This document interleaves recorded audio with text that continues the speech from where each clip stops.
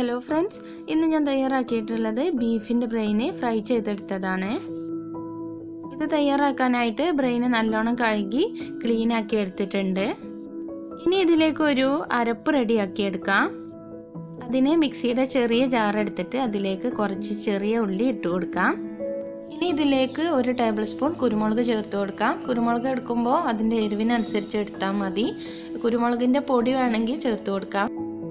പിന്നെ ഒരല്ലി വെളുത്തുള്ളിയും മുക്കാൽ ടീസ്പൂൺ ചെറിയ ജീരകവും കൂടി ചേർത്ത് കൊടുക്കാം.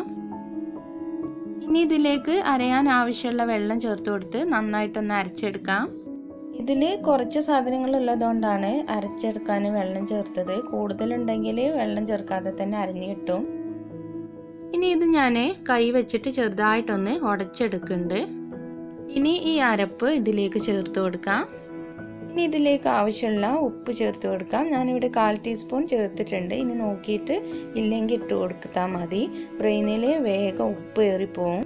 ഇനി ഇതിലേക്ക് കാൽ ടീസ്പൂൺ മഞ്ഞൾപ്പൊടിയും മുക്കാൽ ടീസ്പൂൺ മല്ലിപ്പൊടിയും ഒരു മുട്ടയും കൂടി ചേർത്തിട്ട് നന്നായിട്ടൊന്ന് എല്ലാം കൂടി മിക്സ് ചെയ്ത് കൊടുക്കാം.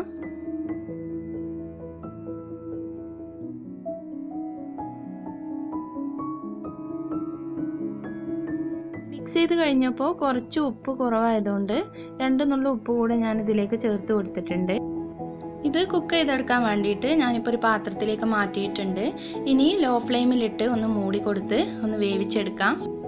നമ്മൾ അധികം വെള്ളമൊന്നും ചേർക്കാതെ വേവിച്ചെടുക്കുന്നതുകൊണ്ട് പെട്ടെന്ന് തന്നെ അടി പിടിച്ചു പോകും അപ്പോൾ ഇടയ്ക്കിടയ്ക്ക് ഒന്ന് ഇളക്കി കൊടുക്കുക. ഇത് വേവാൻ അധികം സമയമൊന്നും ആവശ്യമില്ല. ഈ വെള്ളമൊക്കെ ഒന്ന് വറ്റി വരുമ്പോഴേക്കും വെന്ത് കിട്ടും.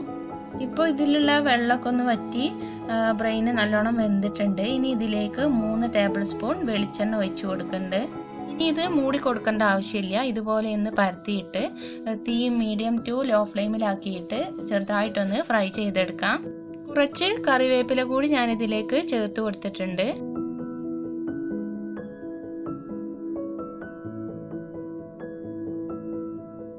ഇതിവിടെ ഏകദേശം ഫ്രൈ ആയിട്ടുണ്ട്. വല്ലാതെ അങ്ങോട്ട് ഫ്രൈ ചെയ്യേണ്ട ആവശ്യമില്ല. ഇന്നത്തെ ഹെൽത്തി ആയിട്ടുള്ള ഈ ബ്രെയിൻ ഫ്രൈ നിങ്ങൾക്ക് എല്ലാവർക്കും ഇഷ്ടമായെന്ന് കരുതുന്നു. ഇഷ്ടമായെങ്കിൽ ലൈക്ക് ചെയ്യാൻ മറക്കരുത് ഷെയർ ചെയ്യുക കമന്റ് ചെയ്യുക subscribe and press the bell icon thank